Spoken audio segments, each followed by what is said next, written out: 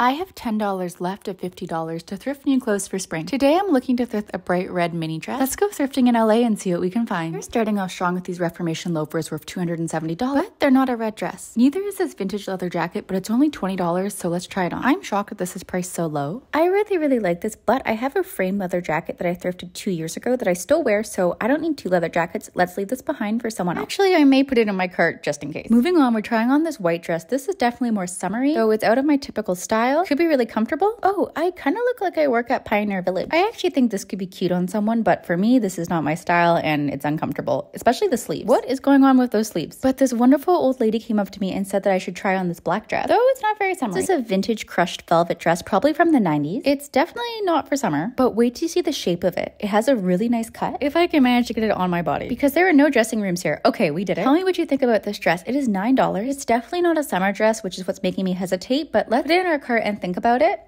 I really like the crisscross straps on the back and the general shape of this dress is gorgeous. Ooh, a pair of shoes. This dress is a win for me, but we need to think if I should actually get it. So far, it's a no to the jacket and a maybe to the Reformation loafers, except they're priced at $24, which is over my budget, and I don't want to break Wait, it. You won't believe how many Aritzia Babaton bodysuits I just found. I was so excited, except look closely. The crotch on the first bodysuit is cut. Is it also cut on the second? Oh no, it absolutely is. Shoot. The white long sleeve is not cut, but honestly, I don't really need this. Next, I found a Clare V sweater. Some of her stuff sells for $140. But I personally don't like that it says Distotech, so I'm going to leave it behind. And the color of this bodysuit isn't for me. But look at it is. Hello, Sally. Absolutely have to try this on. It's required. I also like that I tried this on over top of my purse. My purse is still under there, not that you can tell. Fantastic shirt, but it's not for me. I was so tempted to try these on. Fishnet heels. And should I do a try on of this black dress at home without the dress underneath it? I did buy it, but I'm undecided because it's not matching your inspiration and this is not for summer. So tell me what you think of it in the comments and if you want to see a try on of it, or if I should return it and keep my final $10 to try and find a red mini dress. Let me know